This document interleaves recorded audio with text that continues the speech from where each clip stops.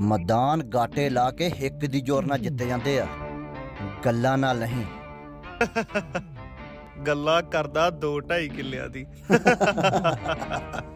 ਮੈਨੂੰ ਲੱਗਦਾ ਕਿ ਉਸ ਸ਼ਲਾਰੂ ਨੂੰ ਅਜੇ ਤੱਕ ਕੋਈ ਮਾਈ ਦਾ ਲਾਲ ਟੱਕਰਿਆ ਨਹੀਂ। ਜਿਸ ਦਿਨ ਮੇਰੇ ਵਰਗਾ ਟੱਕਰ ਗਿਆ ਨਾ ਸੌ ਰੱਬ ਦੀ। ਉਹਨੂੰ ਭੱਜਦੇ ਨੂੰ ਵਾਹ ਨਹੀਂ ਲੱਭਣਾ ਵਾਹਣ। ਚੰਗਾ ਉਸਤਾਦ ਜੀ ਮੈਂ ਚੱਲਦਾ। ਜਾ। ਤੂੰ ਵੀ ਤਾਂ ਇੱਕ ਬੇੜੀ ਦੀ ਮਾਰ ਐ। ਉਹ ਕਰ ਲੋ ਤੁਸੀਂ ਵੀ ਸੰਸਮ ਤਿੱਖੇ ਮੁੰਡਿਓ।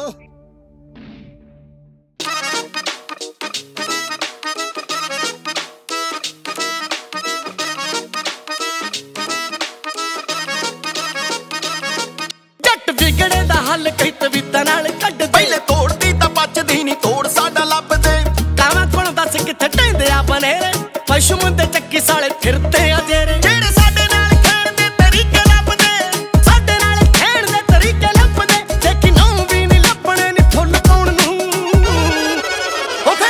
गलती